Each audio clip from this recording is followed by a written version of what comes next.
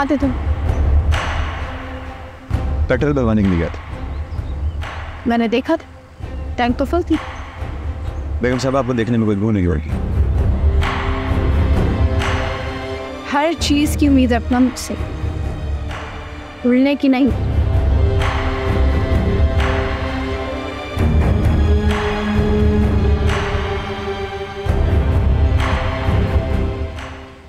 अरसल का मुझसे यूँ मुरीद का माजी जानना। इसकी क्या वजह हो सकती? यही तो मैं सोच तुम्हें मैंने बहुत पहले कहा था मीमिया अगर ये बात निकली तो हम खानदान में किसी को मुँह दिखाने के काबिल नहीं रहेंगे। और तुम भी? तुमने मुरीद को पास रख लिया। सोचो अगर उसको वो सब कुछ याद रहा तो कैसे रहा होगा वो बीस साल से तुम्हारे साथ? उस वक्त वो बहुत छोटा था। और एक बात तो तय है। मेरे और आपके अलावा इस बारे में और कोई नहीं जानता। अरसल के इन सवालों का जवाब मेरे पास नहीं। उसका कहना है कि तुम्हारे पे आने वाली मुसीबतों की वजह मुरीद है। और इस संदेशे का ज़िक्र मैं तुमसे पहले कर चुकी हूँ। आप आपको मुरीद की चाल ढाल से लगता है कि वो ऐसा कर सकता है। नहीं। वो हमारा मोहसिन है। उसने अपनी ज़िंदगी को खतरे में डालकर रस्मा की ज़िंदगी बचाई। मतलब वो ऐसा क्यों करेगा? इन्हीं बातों की वजह से तो मैं अभी तक खामोश हूँ। लेकिन तुम फिर भी अरसल से बात करो। पूछो उससे कि वो ऐसा क्यों सोच रहा है?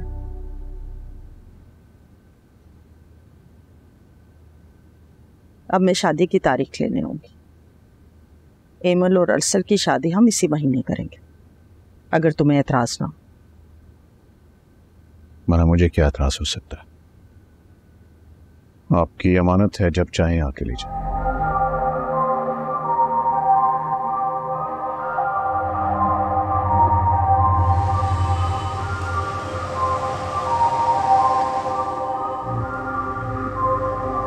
अरसल का मुझसे यूँ मुरीद का माजी जानना।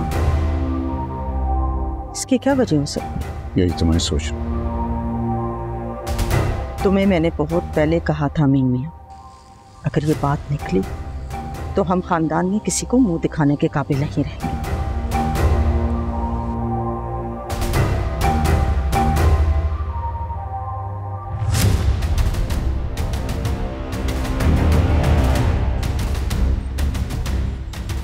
और एक बात तो तय है। मेरे और आपके अलावा इस बारे में और कोई नहीं जानता।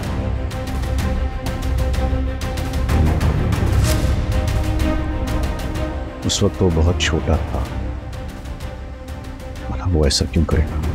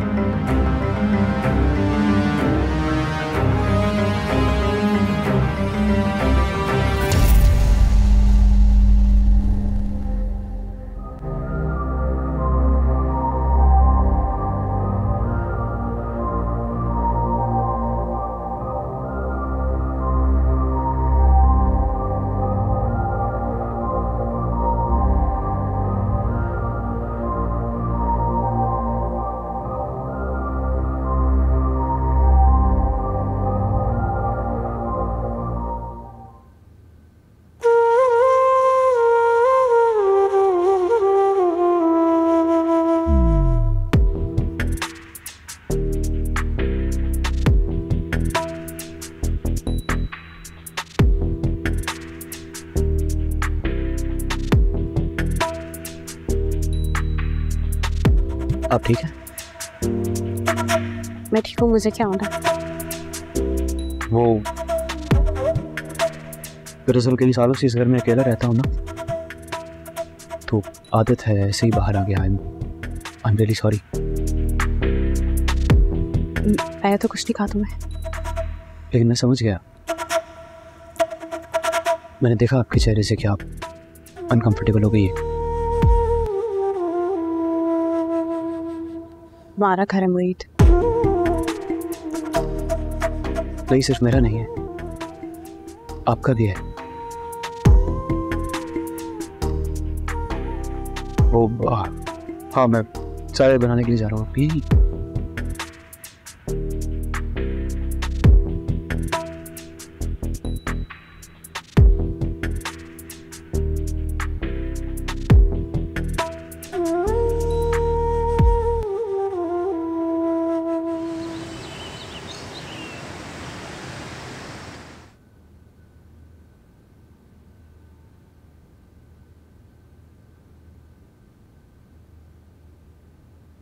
पी हेमल को इस रिश्ते से कोई मसला तो नहीं आप दफ्तर से कब वापस आ जाएँगे? जल्दी आ जाऊँगा। फिर मैं मुरीद से कह के इंतज़ाम करवा लूँगी। कोई मेहमान तो आ नहीं रहे। फिर इंतज़ाम कैसे? फिर भी कुछ ज़रूरत की चीज़ें तो मंगवानी होंगी। आखिर तारीफ़ लग रहे हैं। जैसा तुम्हें बेहतर लगे।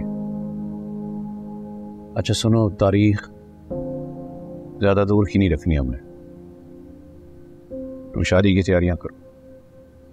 सुने आजकल आप काफ़ी उलझे उलझे रहते हैं। सब खैरियत है ना?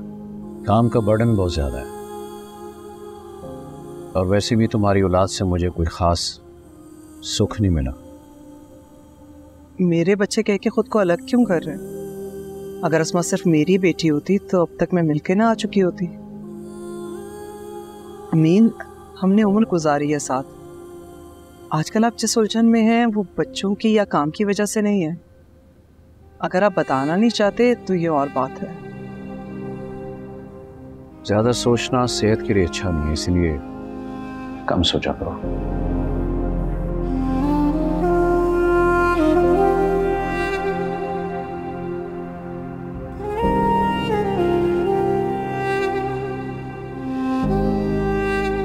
पापा बता रही हैं कि मुरीद को लेकर तुम्हारे जहन में कुछ चल रहा है। जी मामू मामू मैं तो कब से कहना चाह रहा हूँ। पर मेरी बात पे कोई यकीन नहीं कर रहा। बोलो क्या बात है? मामू कुछ बातें तो ऐसी हैं जो जो मैं आपको नहीं बता सकता। बाकी असमा के किडनैप से उससे शादी तक। मामू ये सब मुरीद के प्लान का हिस्सा है। फ़िलहाल तो मेरे पास कोई सबूत नहीं है इस बात का। पर मामू, एक बात तय है। ये जिसे आप लोग सुसाइड अटेम्प्ट कह रहे हैं, ये असमा के कत्ल की कोशिश है। अगर ऐसा है तो असमा ने किसी को बताया क्यों नहीं? कम से कम एसपी साहब को बता देती। तुम्हें यकीनन कोई गलत फहमी हुई है अरसल ऐसी कोई बात नहीं।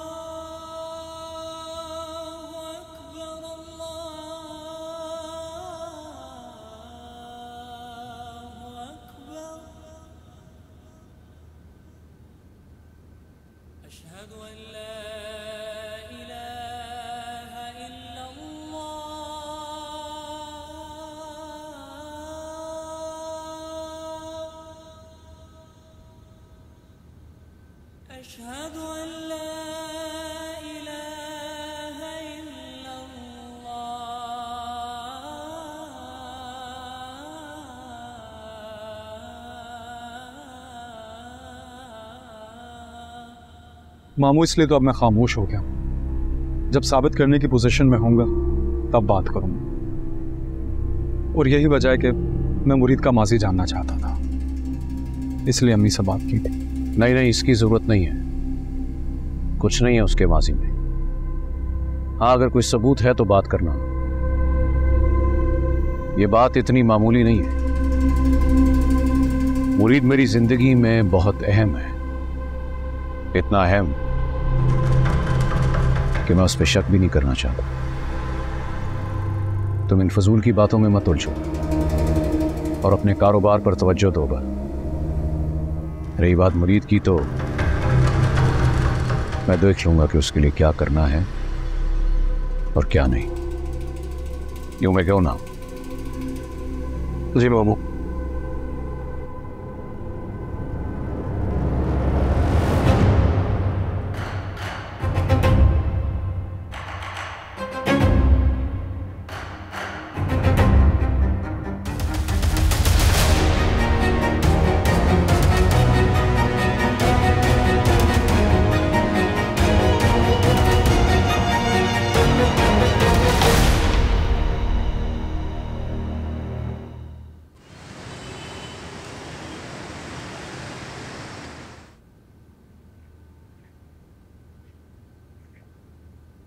बेगम साहबा। खाना तैयार है आ जाइए। मुझे भूख नहीं है। क्या मतलब भूख नहीं है? आपने सुबह से कुछ नहीं खाया। आइए ना प्लीज़ मुझे अभी नहीं खाना भूख नहीं है। आपकी तबीयत ठीक थी लग रही मैं डॉक्टर को बुला के लाता हूँ। इसकी कोई ज़रूरत नहीं है हल्का सा बुखार है अभी ठीक हो जाएगा। क्या मतलब हल्का सा बुखार है? बुखार की दवा ली आपने?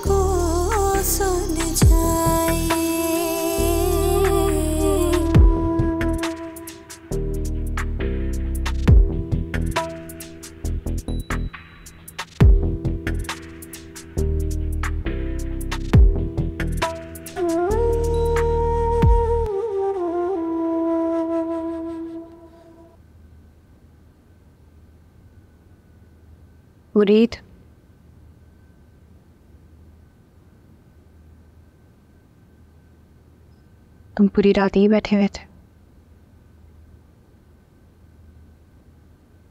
हाँ वो आँख लग गई थी मेरी। जाके सो जाओ मैं ठीक हूँ। खार उतर के है मेरा बेहतर फील कर रही हूँ।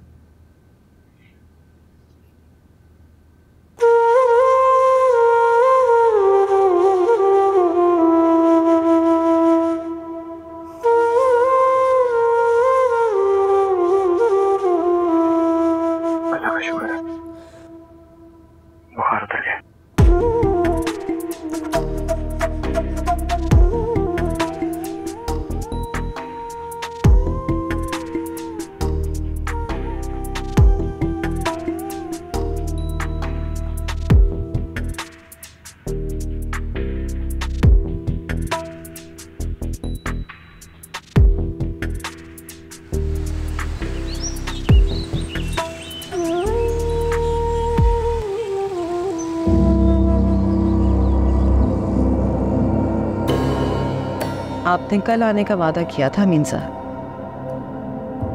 सारा दिन आपके इंतज़ार करते गुजर गया। और रात इंतज़ार की थकावट में गुजर गई। ऐसे तो ना थे आप पहले। तुम्हें क्या बताऊँ कि हालात और वाकयात ही कुछ ऐसे हो गए। वरना तुमसे मेरी मोहब्बत यकीनी है मलाइका। यही तो मसला है अमीन साहब। मोहब्बत को याद दिलाते रहना पड़ता है।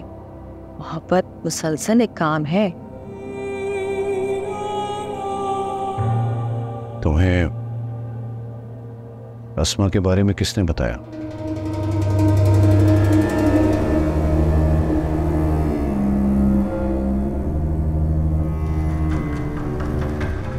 मैं आपसे और आपसे जुड़ी हर बात की खबर रखती हूँ।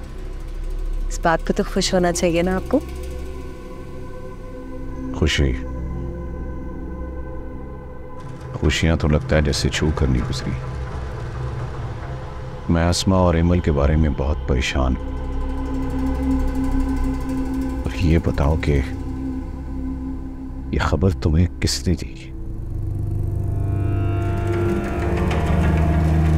अरे अमीन साहब, घर में आग लगेगी तो पड़ोसियों के यहाँ धुआँ तो उठेगा ना। आपके पड़ोसियों ने बताया। वैसे बताना तो आपको चाहिए था। तो क्या बताता कि मेरी बेटी खुदकुशी करना चाह रही थी? यही तो मसला है। आपको तो चाहिए था कि उन दोनों को बिल्कुल दूर कर देते अपने आप से। मगर आपने तो उनको अपने पास ही रख लिया। और वो क्या नाम है उसका? वो हाँ मुरीद। ऐसे लोगों से तो नफरत हो जाती है। आपने तो अपने आँखों के सामने बिठा कर रख लिया। वालदेन की नफरत इतनी ही होती है।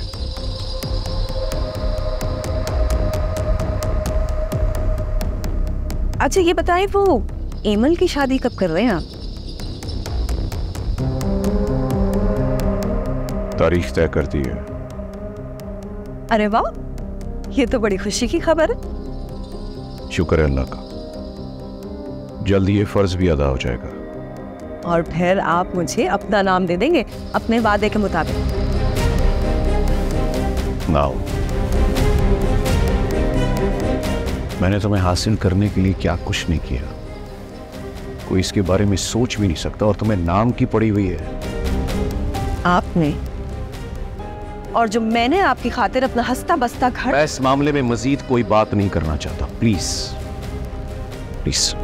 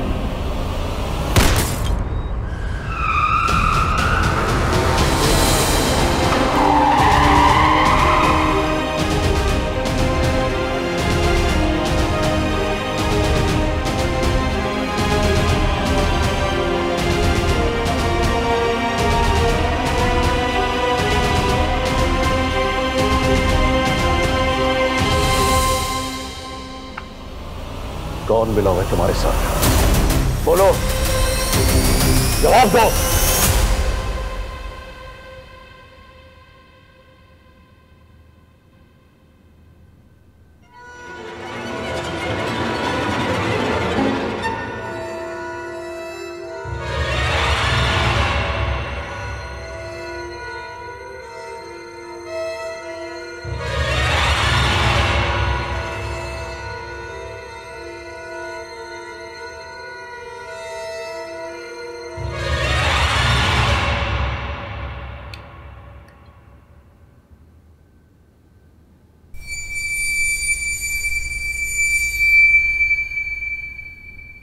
सोचों में गुम हो रही हैं?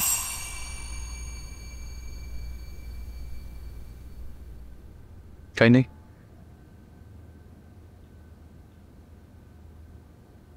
कुछ भी नहीं है मुझे बताना नहीं चाहते तुम। जो मैं ख्वाब में भी नहीं देखना चाहता वही ख्वाब में देखा है आज।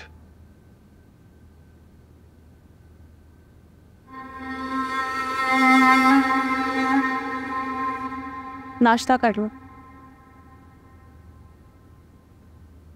दिल नहीं जा रहा। ऐसी क्या बात है मुरीद जिससे तुम्हें खौफ सदा करती है? मैं हारना नहीं चाहता बेगम साहबा। हार का खौफ इंसान को बुजदिल कर देता है मुरीद। अपने इंतहाई अंजाम को कबूल कर लो सुकून में आ जाओगे। मुझे मरने का खौफ नहीं है। मुरीद हथेली पे जान रख के खुशी से घूमता है। खौफ है तो अपने मकसद के अधूरे रह जाने का। थक जाओगे। सांस लेते हुए भी कोई थका है आज तक? जिस दिन थक गया ना वो दिन मेरी मौत का दिन होगा। चलता हूँ खुदाफिज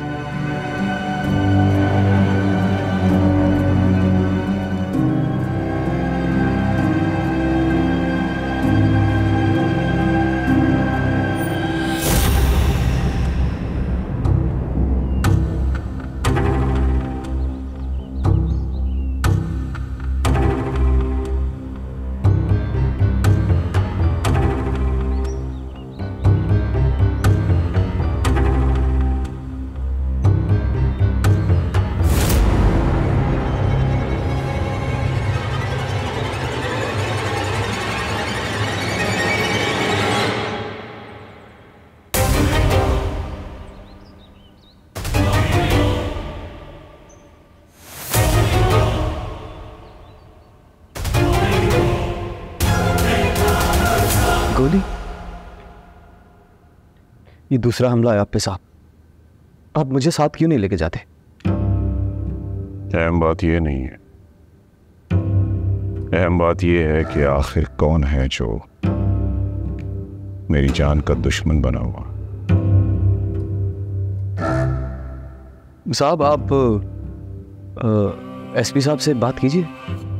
और खुदारा आइंदा अकेले मत जाइएगा मुझे साथ लेके जाइएगा। मुरीद है आप पर अपनी जान कुर्बान करने के लिए। कुर्बानी की नौबत आ क्यों रही है? फ़िलहाल एसपी साहब से बात करने की ज़रूरत नहीं है और ना ही किसी फैमिली मेंबर से। पहले मुझे अपनी आँख के घोड़े को माजी के मैदान में पकाने दो।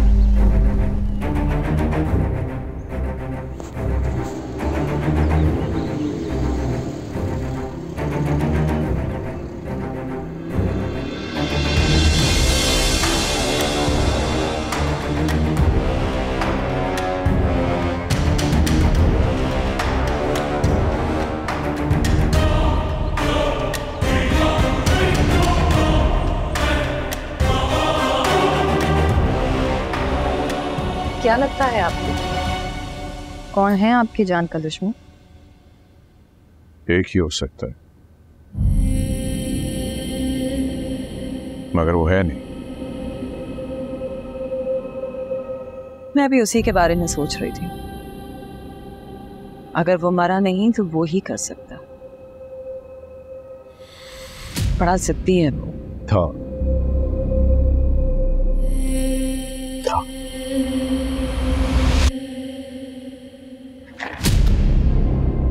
चलाओ गोली।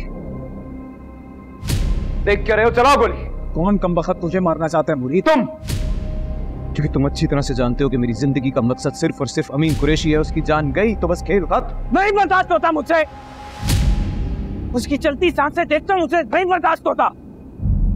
और मेरा दोस्त होते हुए तो ये क्यों नहीं जान पा रहा कि मैं किस अजाब से गुजर रहा हूँ? तो फिर मलाइका को मारो ना? बेवफाई तो मलाइका ने की है तुम्हारे साथ। अमीन कुरैशी तो व्यापारी है। हर अच्छी चीज़ का दाम लगाता है। अफसोस तो उस पर है जो बिक गया। सच है बिल्कुल सच कहा है मैंने। अमीन कुरेशी बाद में पहले तुम्हारी कसूरवार मलाइका है। मार दो ना उसे। क्यों नहीं मारते हो?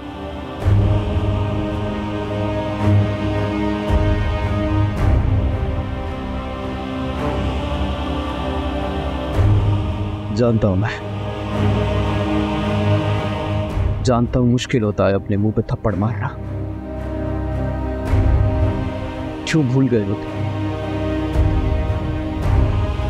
याद करो वो दिन जब मैंने तुम्हें बचाया था, वरना आज ज़िंदा नहीं होते तुम।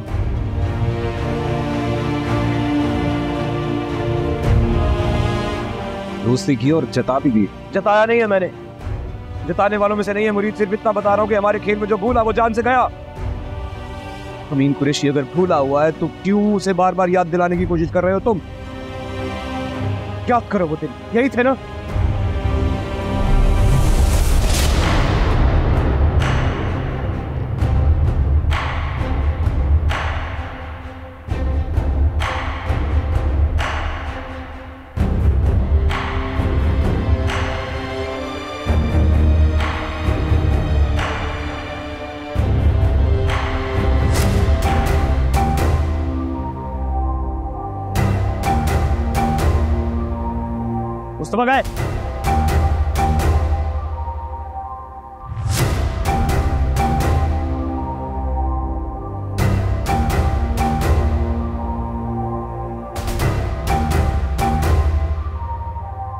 मार मार दे फिर मार। भाई क्या कर रहे हो? क्यों मार रहे हो मरे हुए को? लाश की बेहुमती कर रहे हो। क्या करें बात तो सही है यार।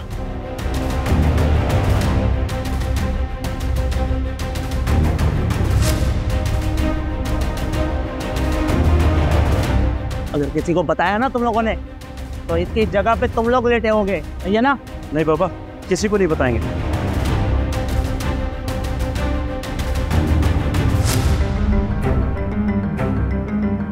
मुस्तफ़ा भाई वो लोग चले गए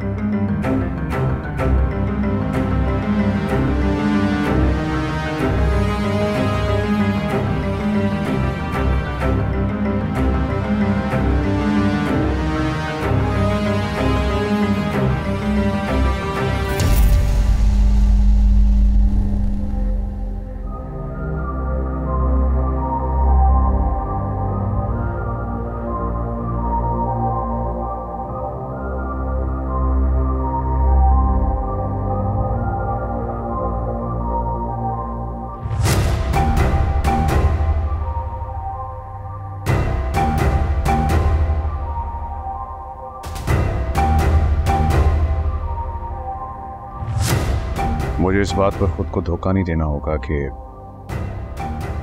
मेरा माजी मेरा दुश्मन है या नहीं क्योंकि है मुझे उसकी मौत पर शक करना होगा और एक और हादसा है जिसे मैं भूलना चाहता हूँ लेकिन उसे यादाश्त में रखना होगा कि मेरा दुश्मन यहीं कहीं है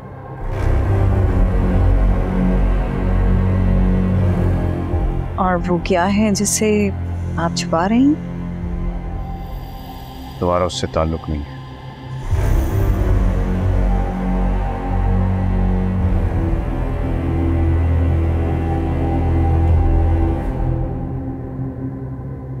अब इसे क्या साथ रखने का इरादा है?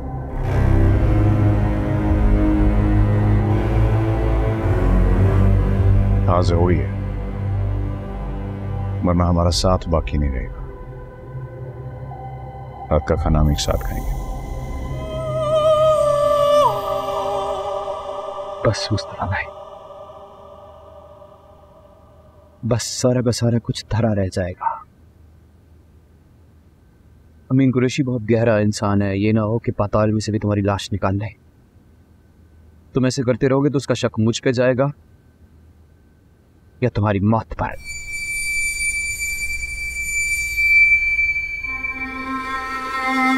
आइंदा नहीं होगा। बेफिक्र रहना अमीन कुरैशी को मारना मुश्किल नहीं है मुरीद के लिए। एक लम्हे में उसकी साँसें रोक सकता हूँ मैं। लेकिन उसे सिर्फ़ मारना नहीं है। तड़पाना है।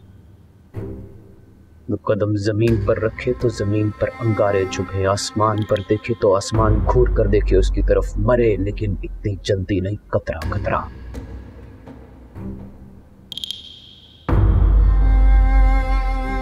गोली कितने बजे चलाई थी उस पर? एक बजे के करीब। इसीलिए से जोड़ने के लिए आया था वो मुझे। ठीक एक बजे। हमारे वजूद में ही हमारी रूहें भी शामिल है इस इंतकाम में मुस्तफ़ा भाई। ख्वाब देखा तुमने? हाँ। चैन की नींद सो रहा था। वो जगाने आया था मुझे।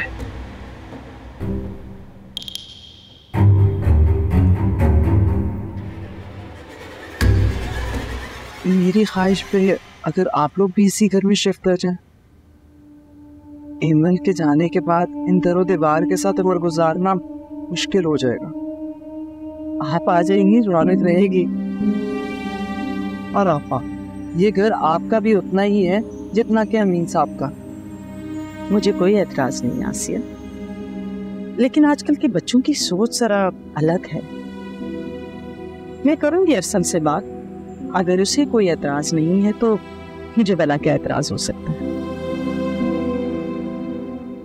मैं भी इस घर की बेटी हूँ। पर अपने माँ बाप के घर में उम्र का आखिरी हिस्सा गुजारना इससे बड़ी खुशी की और क्या बात हो सकती है? Yeah, I'll try my best to be there. Let me call back. किसकी इजाज़त से आई हूँ बेगम साहब ने बुलाया मुझे। वक्त भी खुद को कैसे दोहराता है ना? इसी जगह। इसी जगह खड़े थे ना तुम?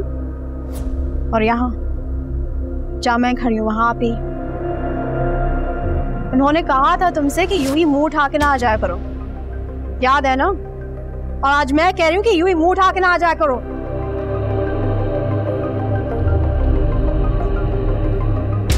उनकी शादी होने वाली थी। दिन रख दिए थे उनके। बिल्कुल उसी तरह जैसे मेरे दिन रख दिए गए। हम सबने आप ही को गलत कहा। लेकिन हम गलत थे। और वो बिल्कुल ठीक। काश काश काश। अगर उस दिन ही तुम पर नज़र रखी होती ना तो ये दिन ना दिखना पड़ता। अब क्यों खड़े हो यहाँ? जाओ यहाँ से। जाओ। जी। जी, बेगम साहब। जैसा हुक्म चलता